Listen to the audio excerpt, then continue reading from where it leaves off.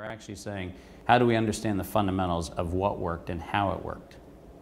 How can we understand, for example, the role of Aetna with JP Morgan and see the role of those two players in the same light that we would view Citibank and AIG today?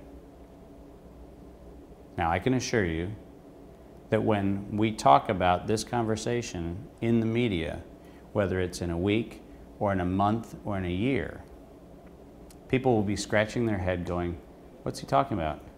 Aetna and Morgan. But for those people who think that derivatives and CDOs and CDSs are all these modern innovations, all you have to do is go back 100 years and actually look at what Aetna was doing with the, with the canals in New York, what they were doing with the iron and the flow of iron to the steel mills in Pennsylvania. And you'll see, lo and behold, an insurance company backing CDOs 100 years ago. We could learn some lessons if we actually looked at it for what it was. But in our nostalgia, we sometimes overlook that. So all I'm saying is I, it, it's not an invocation to a past ideal. It's an understanding of when humans interfaced with this dynamic, what actually transpired. Because remember that it was out of the Aetna and the Morgan and the Vanderbilt and the Carnegie collaboration, in their view.